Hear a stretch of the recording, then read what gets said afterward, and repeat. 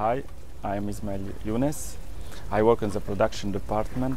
I have the great chance uh, to follow this uh, stunning yacht uh, from the beginning to the delivery as a project production manager.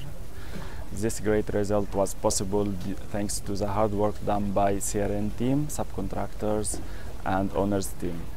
I enjoyed working on it, uh, proud of what was done, and to see it after all this hard work established and realized.